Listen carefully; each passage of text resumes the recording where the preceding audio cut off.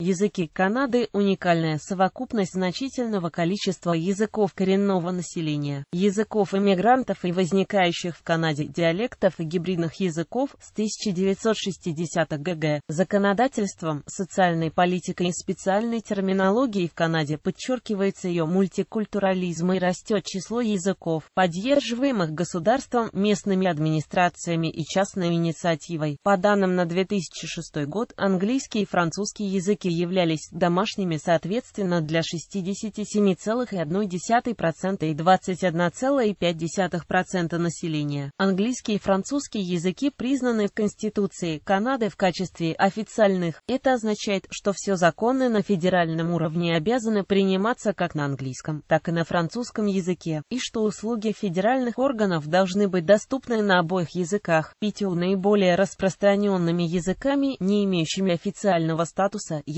китайский, пинджаби, испанский, итальянский и украинский, на языках коренного населения, многие из которых уникальны для Канады, в настоящее время говорит менее 1% населения, и их использование в большинстве случаев сокращается. Под китайским языком в Канаде традиционно подразумевается кантонский диалект, фактически самостоятельный язык, носителями которого являются большинство мигрантов китайского происхождения. В связи с тем, что кантонские и другие диалекты не имеют своей письменной нормы. В объявлениях и вывесках в китайских кварталах используется китайская литературная норма гаюй в записи традиционными иероглифами. Однако в быту в китайских общинах чаще всего используются кантонские и другие южно-китайские диалекты. В Канаде выпущено немало учебников по кантонскому диалекту, который в канадской лингвистике рассматривается как отдельный язык. Знание языков на личном уровне, домашние языки, ниже приведены 20 наиболее распространенных в Канаде языков. Чуть более 98% канадцев говорят дома на одном языке и около 2% на двух и более языках английский 20 миллионов 584 тысячи 775, французский 6 миллионов 608 тысяч 125, китайский 790 тысяч 35, пинджаби 278 тысяч 500, испанский 209 тысяч 955, итальянский 170 тысяч 330, украинский 148 тысяч 90, арабский 144 тысячи 745, немецкий 128 тысяч 350, тагальский 119 тысяч 345, вьетнамский 111 тысяч 440, португальский 103 тысячи 875, урду 102 тысячи 805, польский 101 тысяча 575, корейский 101 тысяча 500, персидский 97 тысяч 220, русский 93 тысячи 805, тамильский 92 тысячи 680, греческий 55 тысяч 100, гуджарати 52 тысячи 715, румынский 51 тысяча 60, географическое распространение. В таблице показано распространение домашних языков в каждой провинции и территории английский язык. В 2006 году чуть менее 20,6 миллиона канадцев говорили дома по-английски. Английский преобладает во всех провинциях, за исключением Квебека, где его предпочитает только 10,5% населения. В Квебеке проживает только 3,6% англоязычного населения Канады, большинство в Монреале – французский язык. По данным на 2006 год, чуть более 6,6 миллиона канадцев говорило дома на французском языке, из них 91,2% проживало в Квебеке. За пределами Квебека самые большие франкоязычные сообщества находятся в Нью-Брансуике, Онтарио и Южной Манитобе. В некоторых провинциях существуют небольшие исконно-франкоязычные сообщества. В частности, на полуострове Пора-Пор на Ньюфаундленде такая община сохранилась со времен французского контроля над полуостровом. Кроме потомков квебекцев и лиц акадского происхождения, много говорящих по-французски людей в 1960-х годах эмигрировало в Квебек из Франции, Бельгии, Марокко, Ливана, Швейцарии и Гаити. Результате этой волны иммиграции, а также ассимиляции нефранкоязычных иммигрантов, франкоязычная Квебека имеет различное этническое происхождение. Из франкоязычных премьер-министров Квебека пятеро имели британское происхождение. Джон Джонс Росс, Эдмунд Джеймс Флинн, Даниэл Джонсон старший, Пьер Марк Джонсон и Даниэл Джонсон младший. Ассимиляция франкоязычных за пределами Квебеко привела к тому, что более миллиона канадцев, декларирующих в качестве качестве родного языка английский, имеет французское происхождение, двуязычие. Согласно данным на 2001 год только 2% жителей Канады не знало хотя бы одного из двух официальных языков страны, однако только 17,5% канадцев были англо-французскими билингвами. Знаний доминирующего в данной местности официального языка практически повсеместно во всех частях Канады, однако знаний второго языка встречается довольно редко за пределами Квебека. Почти 99% канадцев знает английский, но только 10% французский. Квебеке ситуация обратная около 95% квебексов говорит по-французски, но только 40% знает английский на достаточном уровне. Таким образом, большинство двуязычных канадцев проживает в Квебеке, хотя большинство населения провинции одноязычно уникальные для Канады языки. Языки коренного населения Канады аборигенные языки Канады. Согласно переписи 2006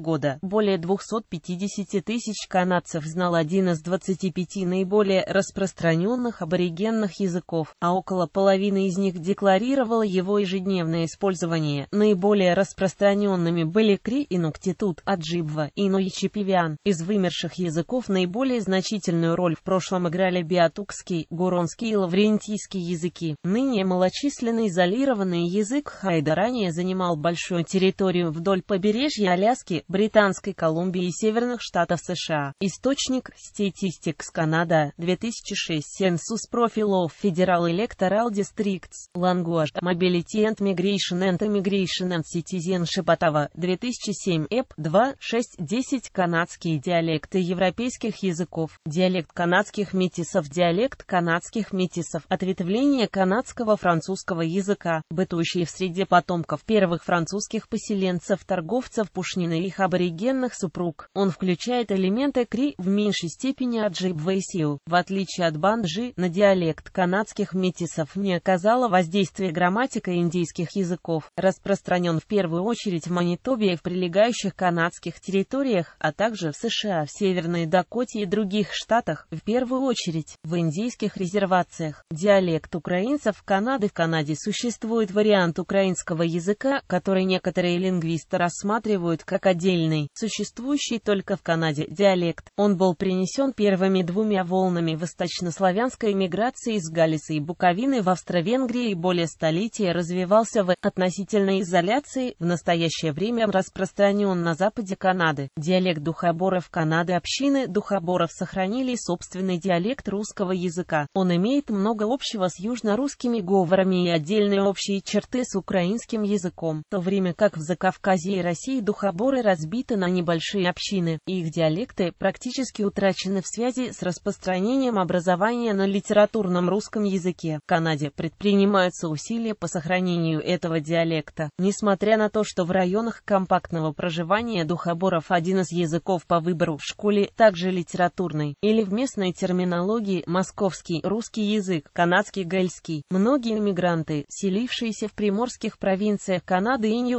Ньюфаундленде, говорили на ирландском и шотландском языках. Ньюфаундленд является единственным местом за пределами Европы, в котором образовался диалект ирландского языка, а также единственным лежащим за пределами Европы географическим объектом, получившим собственное ирландское название Таламана-Иск. Однако в настоящее время ирландский язык здесь мало распространен. На шотландском языке говорили преимущественно в долине реки Рестигуш в Нью-Брансуике, в центре и юго-востоке острова Принца Эдуарда, а также по всей северной части Новой Шотландии, в особенности на острове Кейп-Бретон. В настоящее время в Новой Шотландии предпринимаются попытки создания программ погружения в язык, а также существуют курсы шотландского языка и культуры в университете Франциска Ксаверия и Гельском колледже. Во время Доминиона на обсуждение парламента выносился закон о придании шотландскому языку статуса третьего официального языка Канады. Однако он не был принят. На западе Канады шотландский язык смешался с кри, образовав язык банджи, пиджины, смешанные и торговые языки в Канаде. Как и в других местах европейской колонизации, передний край европейского исследования и заселения был, как правило, лингвистически разнородным и нестабильным местом, в котором встречались и взаимодействовали различные языки и культуры. Необходимость единого средства общения коренного населения с приезжими в целях торговли и смешанных браков привела к появлению гибридов гибридных языков. Они были, как правило, ограничены небольшой территорией и имели незначительное число носителей, которые обычно знали еще один язык. Эти языки часто существовали недолго и исчезали после прибытия большего числа говоривших по-английски или по-французски постоянных поселенцев. Среди гибридных языков выделяются мичев и менее подробно описанный язык банжи, смешанные языки, развившиеся в среде канадских метисов и ассимилирующихся индейцев и комбинирующие грамматику европейских и коренных языков Канады. Мичев-Мичев был основан на элементах кри-аджибва, сиуи французского языка, то есть из тех же элементов, что и диалект французского языка канадских метисов, но с проникновением грамматики и лексики кри в область построения фраз с переходным глаголом и страдательных конструкций. Сегодня на Мичифе говорит менее тысячи человек, проживающих в Соскачевании, Манитобе и Северной Дакоте. В пик популярности число носителей было, вероятно, раза в три больше. Банжи-банд жили Банги был смесью кри шотландского и был распространен в районе Ред-Ривер в провинции Манитоба. В 1989 году, когда была предпринята единственная попытка научного исследования языка, жило только шесть человек, знавших банджи. Чинукский жаргон в начале 19 века в Британской Колумбии, Юконии по всему северо-западному побережью Тихого океана появился пиджин, получивший название чинукский жаргон. Он был смесью языков индийских языков чинук, нутка и чехалис с французским и английским, а также имел некоторое количество слов из других языков, включая гавайский и испанский. Некоторые слова и выражения до сих пор используются местным населением. Баскский пиджин. В XVI